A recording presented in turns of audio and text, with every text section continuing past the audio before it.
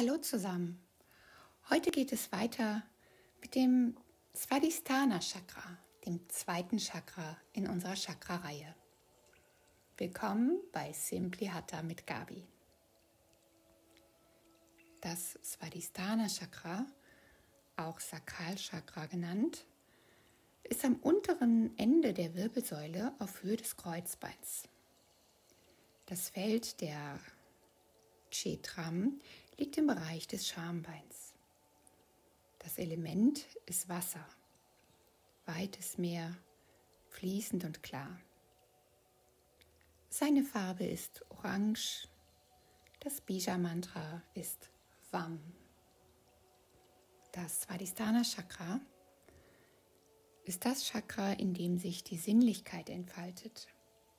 Es ist mit Sexualität, Erotik sowie mit Beziehungen und Eifersucht verbunden. Man sucht Sinnesbefreiung und Lust in äußeren Dingen. In Svadhisthana ruht das Unterbewusste, das tief Verwurzelte, unsere Instinkte. In diesem Chakra wohnt das Potenzial der Kreativität, der schöpferischen Lebensenergie und der Begeisterungsfähigkeit als kleine Affirmation für diese Yoga-Einheit kannst du dir Ich bin kreativ in meinem Leben vorstellen. Und nun lass uns beginnen. Setze dich im kreuzbeinigen Sitz auf deiner Matte ab. Vielleicht möchtest du etwas erhöht sitzen, indem du einen Block oder eine zusammengefaltete Decke unter dein Gesäß legst. Bringe deine Hände in Jin Mudra auf deine Oberschenkel oder Knie. Spanne deine Wirbelsäule auf und komme erstmal an hier auf deiner Matte. Schließe deine Augen.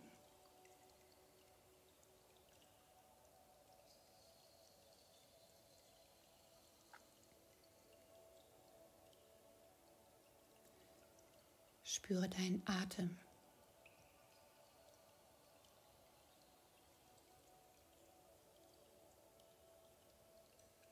Spüre in dein Becken hinein, stelle es dir vor wie eine Schale, gefüllt mit klarem, ruhigem Wasser.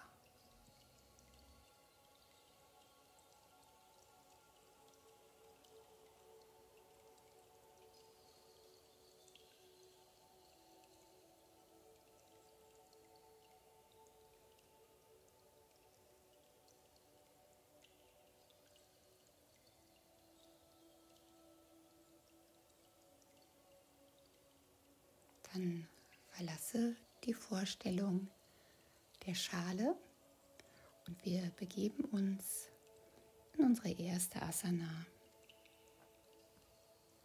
die wir mit einer kleinen Pranayama-Atemübung verbinden werden. Löse deinen kreuzbeinigen Sitz, schüttel deine Beine ein bisschen aus, dein Becken Fasse ein Bein und lege dich behutsam auf den Rücken.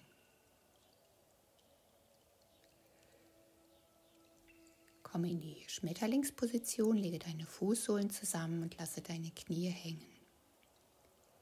Lege deine Hände auf deinen unteren Bauch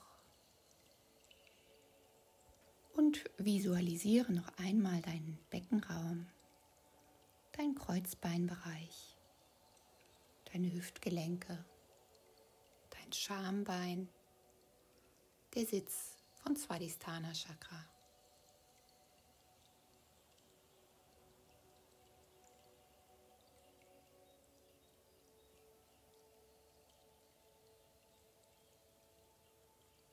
Dann löse deine Hände,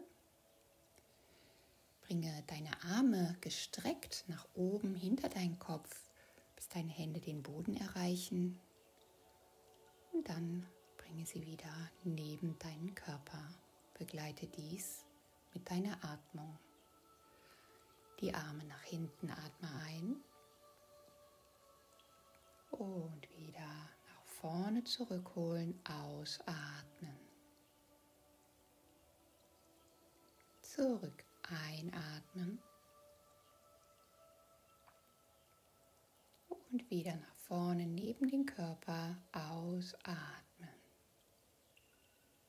So weiter. Atme ein. Und ausatmen.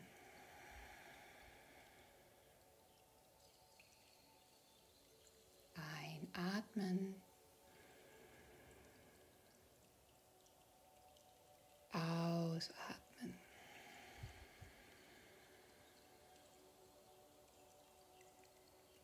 Ein.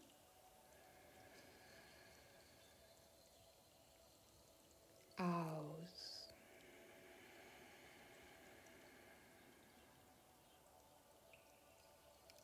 Einatmen. Ausatmen. Dein letztes Mal, atme ein. Ausatmen und lege die Hände wieder auf deinen unteren Bauch und spüre erneut in deinen Beckenraum hinein. Lasse deinen Atem natürlich fließen.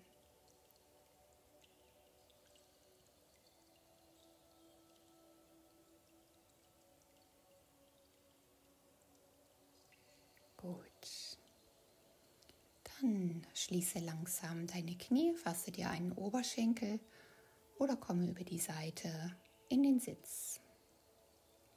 Für Dandasana, die Stockposition, strecke deine Beine nach vorne, ziehe deine Fußspitzen an, strecke deinen Rücken, so dass dein Becken auf jeden Fall aufrecht steht und stelle erst einmal die Hände, die Fingerkuppen hinter dir am Boden auf. Spüre dich vom unteren Ende deines Steißbeins bis zum hinteren Punkt deiner Scheitelkrone wie ein Stock, ganz gerade. Nimm hier einen bewussten Atemzug.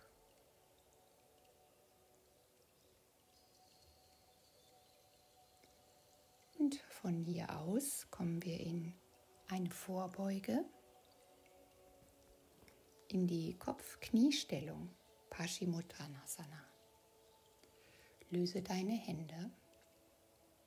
Bringe mit der Einatmung die Arme über die Seite nach oben mit der Ausatmung neigst du deinen Oberkörper nach vorne. Lasse deine Hände sinken. Wo sie ankommen, kommen sie an. Das kann an den Füßen sein, an den Fußgelenken, an den Knien, wo auch immer.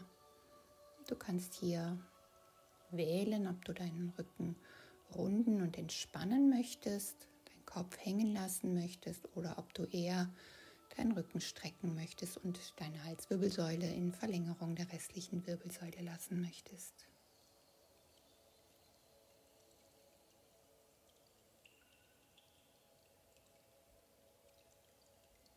Gut, dann Komme ganz langsam wieder nach oben mit deinem Oberkörper und für eine weitere Vorbeuge bringe deine Beine in eine weite Grätsche. Upavista Konasana, die gegrätschte Vorbeuge. Krabbel nun mit deinen Händen, soweit es dir möglich ist, nach vorne. Lasse deine Fußspitzen geflext nach oben schauen und wähle auch hier wieder deine Variante mit einem gerundeten Rücken oder eher einer Streckung. Stütze dich auf deine Hände.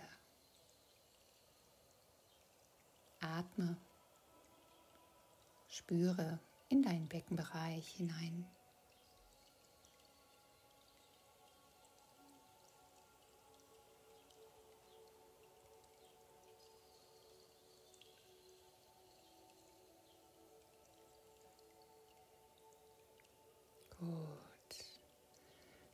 Richte dich ganz langsam wieder nach oben auf.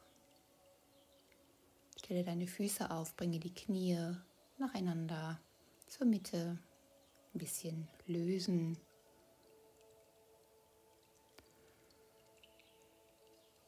Dann setze dich wieder in den kreuzbeinigen Sitz. Lege deine Hände kurz in deinen Schoß, die starke Hand in die schwache. Schließe deine Augen und lenke deine Aufmerksamkeit wieder zu Swadhisthana. Stelle dir dort die Farbe Orange vor.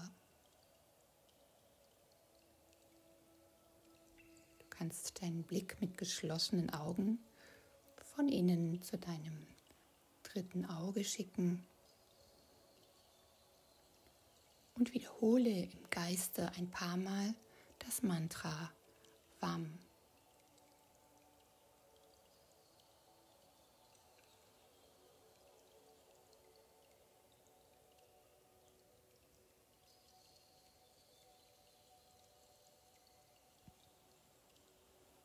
Gut. Dann löse deinen Sitz wieder auf und komm in den Vierfüßlerstand.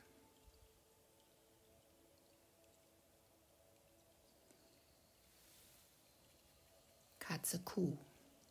Stelle dir auch hierfür wieder in deinem Becken eine Schale mit Wasser vor. Eine schwebende Schale. Die Wasseroberfläche ist ruhig und glatt. Für die Katze runde nun deinen Rücken und für die Kuh drücke deinen Rücken durch. Katze Rücken rund, die Kuh Rücken durchdrücken. Stelle dir vor, wie du deine Wasserschale im Becken balancierst. Das klare Wasser trotz deiner Beckenbewegung ruhig und im Gleichgewicht bleibt. Lasse die Bewegung durch deine Atmung begleiten.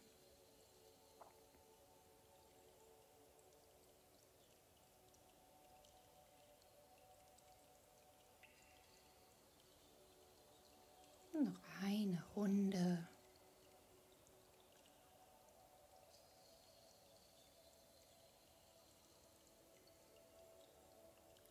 Dann löse wieder die Vorstellung der Schale und gehe in Balasana, die Stellung des Kindes.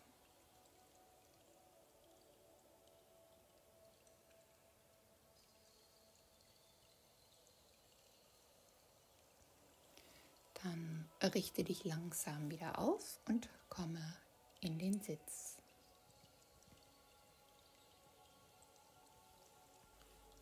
Für das Kuhgesicht, Gomukhasana, bringe nun das rechte Bein über dein linkes und das linke Bein anwinkeln, so dass möglichst deine Knie übereinander liegen.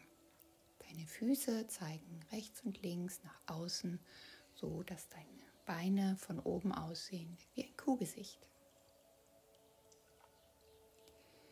Wir machen dazu die Adlerarme, Garudasana. Hole dafür den linken Arm nach vorne und den rechten Arm darunter, sodass deine Oberarme überkreuzt sind. Verschlinge deine Unterarme, vielleicht kommen deine Handflächen zueinander oder auch die Handrücken. Strecke deine Wirbelsäule auf, ziehe deine Schultern tief, deine Ellen nach oben Schließe deine Augen und spüre.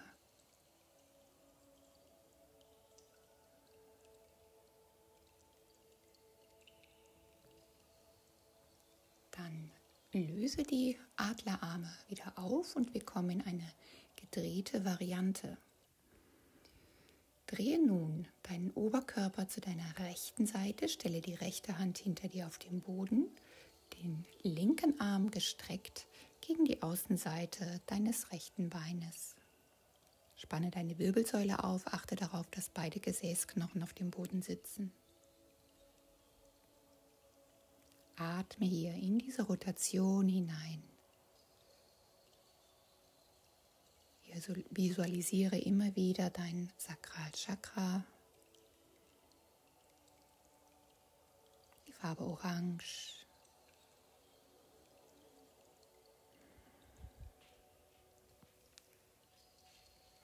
Und komme wieder zur Mitte. Wir wechseln die Seite, löse deine Beine und schlage dann das linke Bein über dein rechtes und winkel dein rechtes Bein ebenfalls an. Du kannst es natürlich auch gestreckt lassen, wenn es deine Flexibilität nicht zulässt. Achte darauf, dass beide Gesäßknochen am Boden sitzen. Und wir kommen wieder zu den Adlerarmen. Stelle hier für deinen rechten Arm nach vorne, den linken darunter. Verknote wieder deine Unterarme. Hand Rücken zueinander oder Handflächen. Schultern tief, Elle hoch. Spüre dich in deiner Kreativität.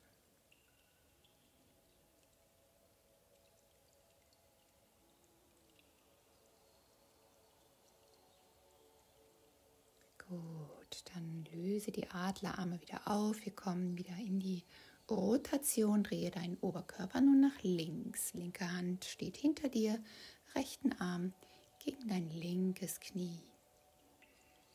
Spüre wieder Länge von deinem Steißbein bis zum Scheitel. Spüre, wie sich die Energie auf feinstofflichem Wege aus deinem Beckenraum zu den oberen Chakren ausweiten kann.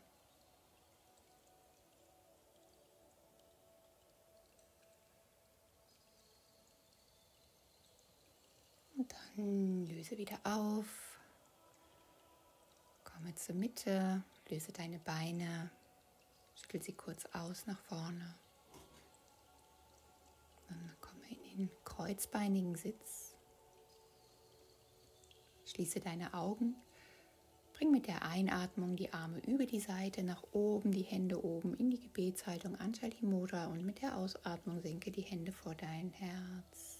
Bleibe hier, die Daumen berühren deinen Herzraum, schließe deine Augen und sage dir innerlich, ich bin kreativ in meinem Leben. Schenke dir ein Lächeln. Und so sage ich für heute Namaste.